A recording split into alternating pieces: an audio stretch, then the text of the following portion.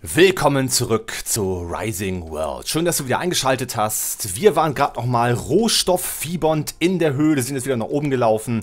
Und ähm, ich habe also festgestellt, also erstmal ist ein riesiger Weg nach oben. Wir haben unten bei dem Tempel, den wir letztens gefunden haben, haben wir noch ein bisschen gebuddelt. Die Rohstoffe zeige ich dann gleich auch noch mal. Und wir mussten jetzt nach oben gehen, weil wir, weil unser Inventar komplett voll war. Und jetzt laufen wir erstmal zum Haus zurück um das alles so ein bisschen zu verwerten, was wir da gefunden haben. so, folgendermaßen, wir haben also Steine gefunden, hier sind natürlich noch die ganzen Fackelhalterungen, die wir auch wieder reichlich in der Höhle verwendet haben. Wir haben uns bei dem Tempel, den wir entdeckt haben, noch tiefer in die Erde gebuddelt und äh, ich habe auch keinen anderen Weg jetzt mehr genommen, dass man irgendwie abbiegt oder sowas, sondern dass wir wirklich diesen einen Weg dann auch nutzen, den wir da uns mit Fackeln weiter gekennzeichnet haben. Und ich habe auch festgestellt, boah, wir haben hier alles voll. Ich weiß gar nicht mehr, wo ich das alles hintun soll. Deswegen, es wird Zeit, dass wir die Sachen auch ablegen.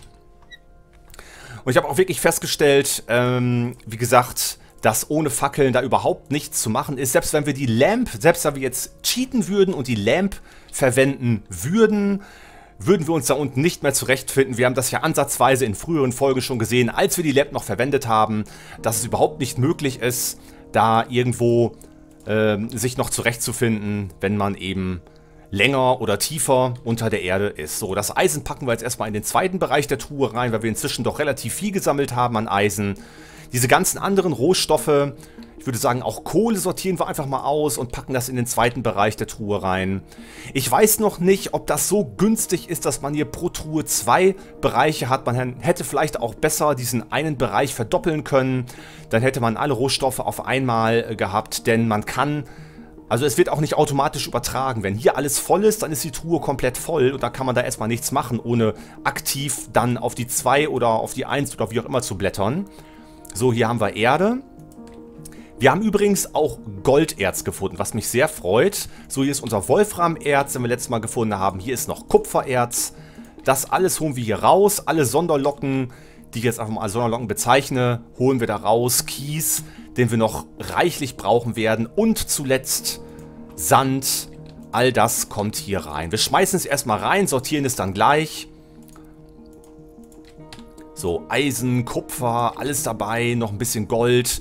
Eisen ist oben, Kupfer ist unten. Man kann es farblich eigentlich auch ganz gut unterscheiden. Hier packen wir Silber hin, hier packen wir erstmal Kohle hin.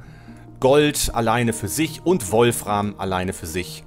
Und hier noch ein bisschen Sand. Und schwuppdiwupp haben wir eigentlich alle Rohstoffe schon ganz gut strukturiert. Hier ist noch etwas Stein, das packen wir wieder auf diese Seite. Äh, nee, da natürlich nicht hin, sondern auf die 1. Stein werden wir gleich noch brauchen. So, jetzt haben wir das auch drin. Obwohl, eigentlich können wir schon wieder Stein, so ein bisschen Stein rausnehmen. Ich wollte erstmal gucken, wie viel wir überhaupt haben. Den Kies müssen wir natürlich auch noch platzieren. Man vergisst immer so schnell diese Sachen. So Kleinigkeiten vergisst man dann schnell. Also nehmen wir einfach mal dreimal Stein da raus oder vier, fünfmal.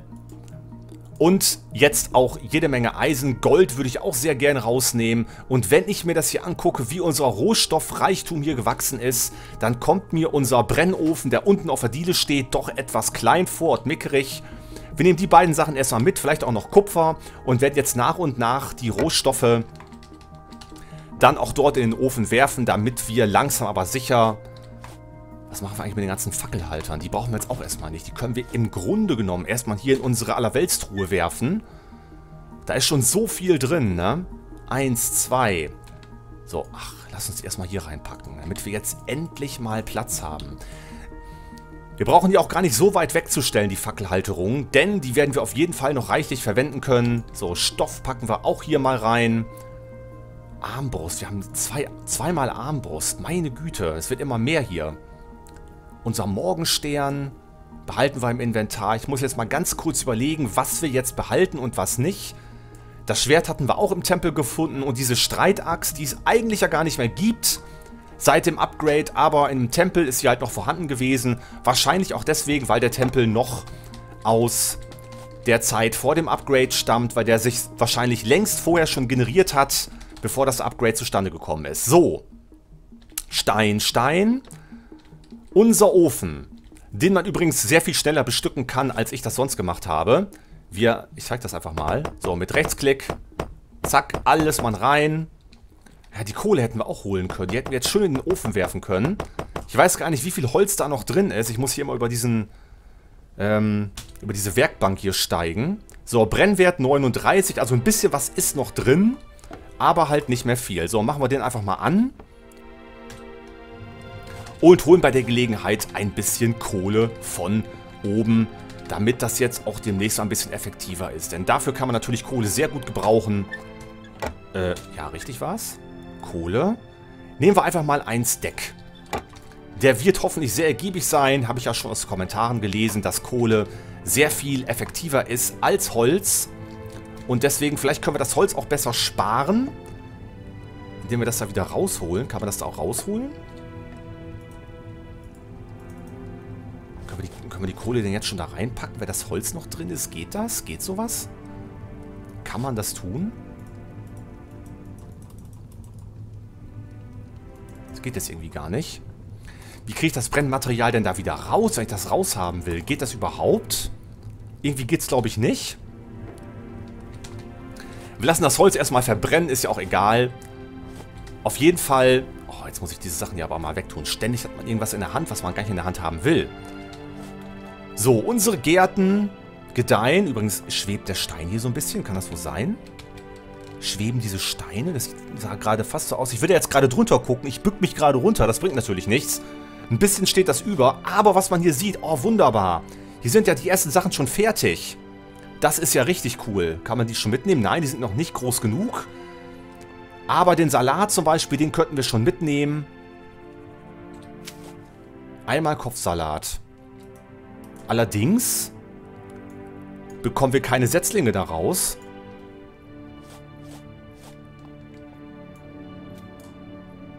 Dreimal Salatkeimling und Kopfsalat. Man muss also immer diese Sichel auf jeden Fall mitnehmen. Und deswegen diesen Kopfsalat erden wir jetzt mal komplett ab. Und werden hier so ein bisschen mit den Salatkeimlingen dann wieder arbeiten. Dass wir die wieder setzen. Wir fangen hier vorne mal an. Übrigens werde ich gleich auch noch mal eben was zu dem Abbau des Malwerkes sagen. Da habe ich nämlich auch Kommentare bekommen. Hätte ich auch selber drauf kommen können, man kann wirklich diese Geräte auch komplett abbauen. Ich habe einige Sachen hier abgerissen oder zerstört, weil ich gedacht habe, die kann man nicht auf konventionellem Wege abbauen. Aber das stimmt nicht, das ist durchaus möglich. Und das werden wir jetzt sehen, indem wir das Malwerk abbauen. Allerdings könnten wir bei der Gelegenheit auch noch mal eben ein paar Steine von oben holen. So, das packen wir mal eben weg. Sicher brauchen wir zunächst auch nicht mehr. Oder ist hier noch irgendwas anderes fertig? Sieht mir noch nicht. Einiges ist schon fertig, einiges noch nicht. Aber da wir im Moment keinen Hunger leiden, naja gut, jetzt zur Stunde vielleicht schon. Aber nicht wirklich Hunger leiden. Das bedeutet, in den Truhen haben wir auch noch einiges an Nahrungsmitteln da. Deswegen essen wir jetzt mal ein paar rohe Kartoffeln. Aber wo wir gerade am Thema roh sind, auch damit werden wir uns auf jeden Fall beschäftigen. Denn wir werden nicht mehr so viele rohe, rohe Rohstoffe Oh, die Bäume sind auch richtig cool gewachsen. Ne? Die Birken und die Tannen, alles ist hier richtig toll gewachsen. Die ersten Kirschen sind da, wunderbar. Was haben wir denn hier? Da ist noch nichts dran, aber auch das ist irgendein Baum, wo dann Obst dran wächst. Ich glaube, das ist ein Zitronenbaum, ich bin mir nicht ganz sicher. Kann man das eigentlich irgendwie sehen? Also ich kann jetzt hier ja nicht erkennen, was das für ein Baum ist. Egal welche Taste ich hier drücke, man sieht jetzt hier gar nichts. Auch mit Rechtsklick oder Linksklick sieht man nichts. Würde mich interessieren, ob es da irgendwo eine Taste gibt, mit der man auch erkennen kann, was das denn eigentlich für ein Baum ist, auf dem man zeigt. Jetzt gehen wir nochmal gerade hoch, holen die Steine, weil wir, das, weil wir unseren Platz noch ein bisschen weiter auspflastern wollen. Jetzt auch gleichzeitig, wo der Brennofen hier zugange ist. Eisen brauchen wir nicht mitnehmen. Wo sind denn diese Steine, die wir verwendet haben? Da sind sie ja auch schon. Und bei der Gelegenheit, äh, nein, also noch mehr möchte ich jetzt eigentlich nicht mitnehmen an Sachen. Wir haben im Moment ziemlich viel im Inventar und Mais haben wir noch da. Wasser müssen wir vielleicht noch ein bisschen holen, aber auch in der Flasche ist noch einiges drin. Im Haus müssen wir natürlich auch auf Dauer noch weitermachen. So, wie sieht's aus? Brennt gut vor sich hin, wie gesagt. Und jetzt gucken wir mal, ob das wirklich stimmt, was in den Kommentaren stand. Es geht ja tatsächlich. Unglaublich. Wieso habe ich das denn selber nicht erkannt? Wenn man länger F drückt, dann geht es.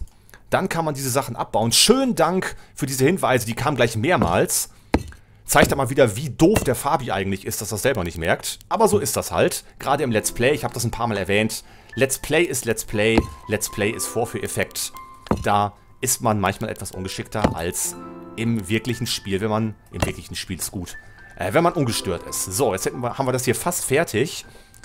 Und was mir so noch in den Sinn gekommen ist, bevor wir jetzt hier mit dem Malwerk weitermachen...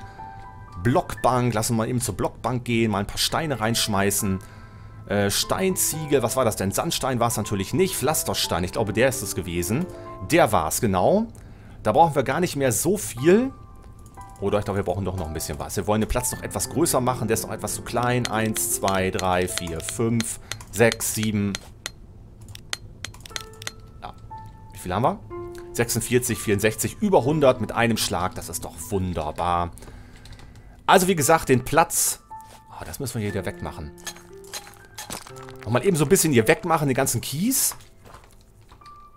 Auch einen Weg können wir natürlich auch sehr schön gestalten. So, ich gucke jetzt mal gerade rund ums Haus. Wie sollte das denn hier aussehen?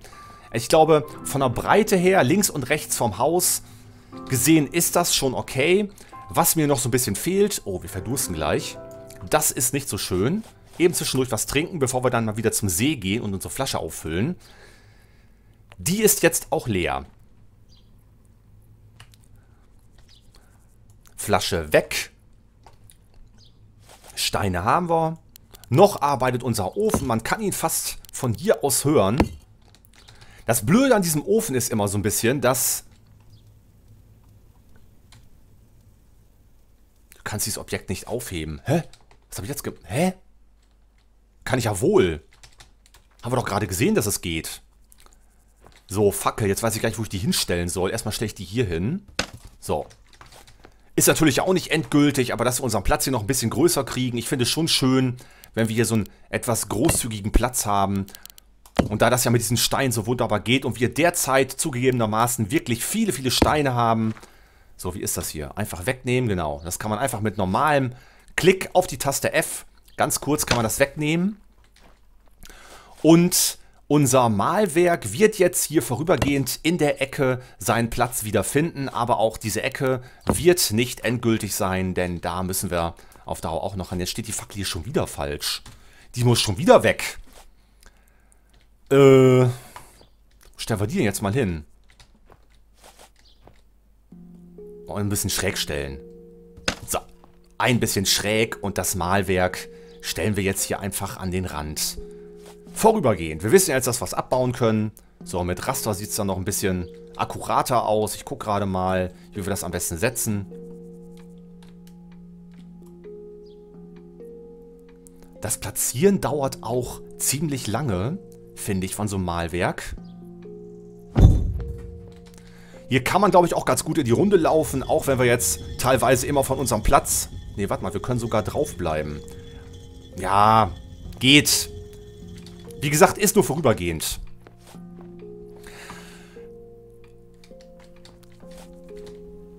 Was ich eigentlich eben erzählen wollte, war, man kann natürlich an diesem Platz auch noch eine schöne, eine schöne Umrandung vielleicht anbauen. Das gucken wir uns dann auch nochmal an, dass es alles optisch noch ein bisschen schöner aussieht. So ein harter Rand sieht dann doch nicht ganz so toll aus. Und vielleicht können wir auch mit Zäunen arbeiten. Den ersten Gedanken, den ich hatte, ach, jetzt ist der Brennstoff alle, oder was? Brennstoff des Ofens ist alle. Nichts mehr drin. Dann können wir unsere Kohle jetzt zum Einsatz bringen.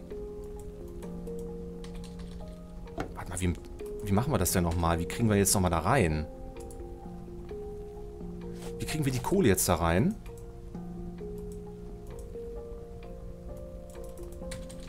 Wie geht denn das nochmal? Wie können wir die Kohle da reinpacken?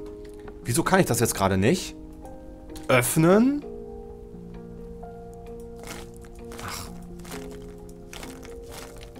Und da sieht man, wie effektiv Kohle ist. Unglaublich effektiv. Wesentlich effektiver als Holz. Wenn ich überlege, was ich hier an Holz reingedonnert habe. Ich kann jetzt immer weitermachen, auch wenn das voll ist, ne? Wir wollen natürlich nichts verschwenden, aber jetzt brennt der Ofen wieder. Den machen wir selbstverständlich, obwohl den können wir jetzt auch erstmal brennen lassen, ist ja egal. Wir füllen das sofort wieder nach. Und mit unseren eisernen Stahlhänden, die in jede Hitze, auch 1000 Grad, greifen können, holen wir uns unser Eisen sehr schnell da raus, lassen das Ding einfach durchbrennen. Wir haben es ja. Und ich würde jetzt gerne einfach mal Gold da reinpacken. Das wären dann nämlich unsere ersten Goldbarren. Ist doch eine feine Sache. Unsere ersten Goldbarren hier zu haben. Wer weiß, was man daraus alles machen kann.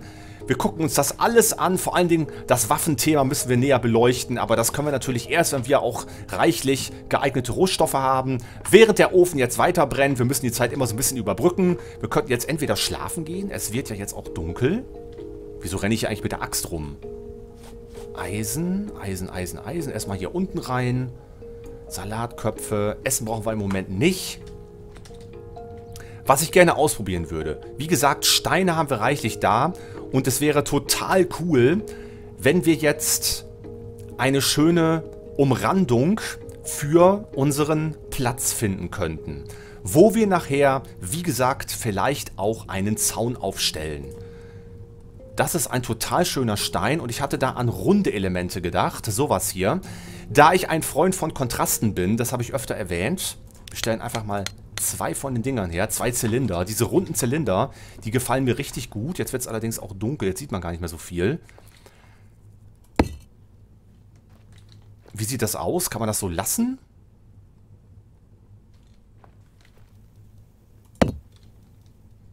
Ist halt ein bisschen heller als das andere. Ich glaube, bei Tag wirkt das noch etwas besser, denn das ist schon um einiges heller als die anderen Steine, die wir da gesetzt haben. Diese Treppe ist mir auch so ein bisschen schmal. Ich weiß auch nicht, ob wir da vielleicht auf Dauer nochmal rangehen und die ein bisschen breiter machen. Also ich habe die jetzt erstmal relativ schnell fertig gemacht, damit man äh, nach oben laufen kann. Aber so ganz das Gelbe vom Ei ist diese Treppe auch noch nicht, denke ich. Deswegen einfach nochmal runter. So, jetzt wird's Tag. Unser Gold schmort im Ofen, wie sich's gehört. Und wir, genau, wir gucken mal mit diesen Zylindern. Die Sonne scheint ja jetzt gerade so ein bisschen drauf, die morgendliche Sonne. Und auch sehr schöne Hitten mit dem Wald, ne? Also, dass ich hier schon mit der Sense so ein bisschen gearbeitet habe. Also, wenn man jetzt hier ohne dieses Gestrüpp durchläuft, dann kommt einem der Wald gar nicht mehr so weit entfernt vor. Was ist denn da hinten? Oh, ich habe mich gerade voll erschrocken. Oh ja, das Jagdfieber bricht aus. Das Jagdfieber bricht aus. Ich sag dir das. Ein Elch. Wir müssen auch nochmal einen Elch erlegen, ne? Wollen wir das jetzt machen? Oder wollen wir damit noch warten? Wollen wir einfach mal einen Elch erlegen? Ob das wohl funktioniert? Zwischendurch so als Abwechslung? Komm, wir tasten uns mal an den Elch ran. Ich mache ja noch so ein bisschen zwischendurch hier das äh, Gemüse weg. Jedenfalls so teilweise. Das muss sowieso alles auf Dauer weg. Das stört mich hier immens. Habe ich auch schon mal erwähnt. Ich möchte ja einfach einen besseren Überblick haben, wenn hier irgendwelche Tiere aus dem Wald kommen, dass wir die auch sehen. Das ist so ein bisschen wie beim richtigen, wieder bei der richtigen Jagd. Bin letztens auf Treibjagd gewesen, als Treiber, habe ich ja erzählt. Und ein Jäger hat ja, wenn er zur Jagd geht, immer seinen Hochsitz dabei, äh, sein, sein Hochsitz dabei sei schon, steigt auf seinen Hochsitz und dieser Hochsitz ist in aller Regel vor einer freien Fläche, damit auch wirklich viel sehen kann und das sollten wir vielleicht auch noch ein bisschen mehr forcieren, dass wir hier auch einen guten Überblick haben über unser Gelände rund ums Haus, damit wir auch schnell Tiere erlegen können, wenn wir welche brauchen. Denn, auch das erwähne ich nochmal, ich habe es nicht vergessen, wir wollen ja auch einen Grill bauen.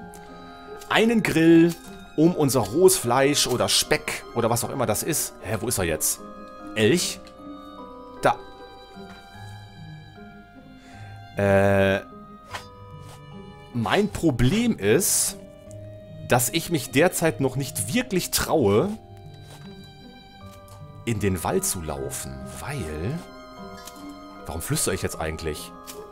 Weil wir noch nicht so gut gerüstet sind, um gegen die wilden Tiere, die dort sind, zu bestehen. Allen voran Bären, die nicht weit weg von hier sind, die ich hier auch schon gesehen habe. Da hinten ist der Elch. Nee, ach, was heißt hier Elch? Hallo? Moment.